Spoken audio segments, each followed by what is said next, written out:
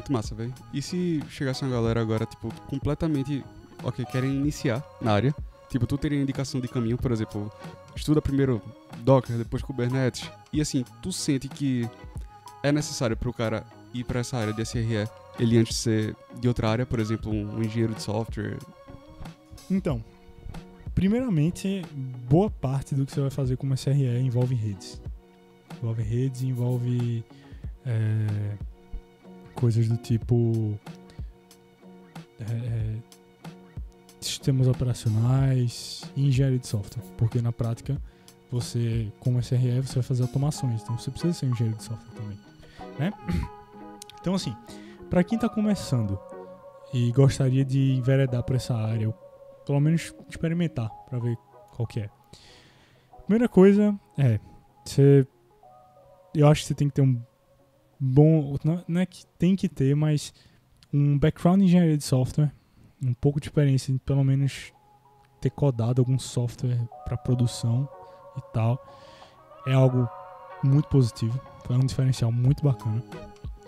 É, outra, um fundamento muito bom em redes, então entender dos pormenores, como a internet funciona, como é que a request sai do seu computador, e tipo assim, você vai lá no navegador, bota google.com, o que é que acontece? Como é que ela chega ao ponto dela carregar na tela? O que é que acontece por trás?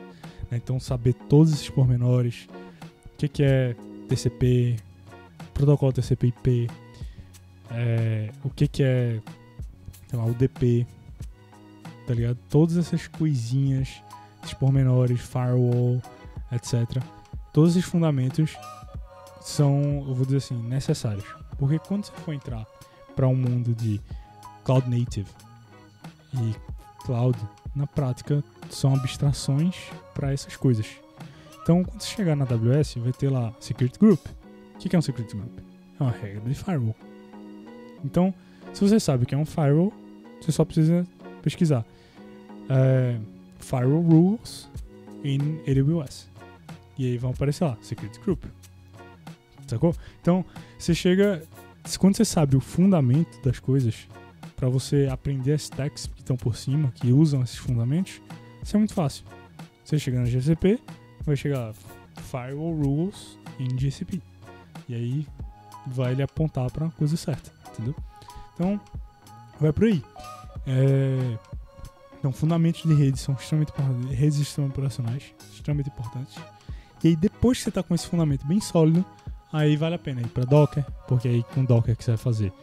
Basicamente você está fazendo uma imagem de Linux. É como se você tivesse instalando Linux no seu computador, fazendo toda a configuração que você precisa, subindo um web server que seja, e depois você cria um, faz um backup disso, faz um snapshot, tá ligado?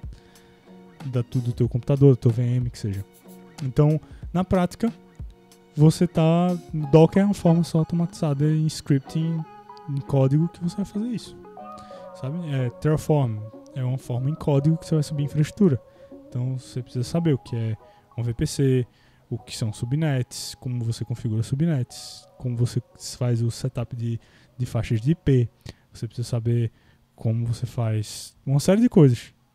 Aí você vai fazer isso em Terraform, porque aí vai ficar via código, você vai poder replicar, etc, etc, etc.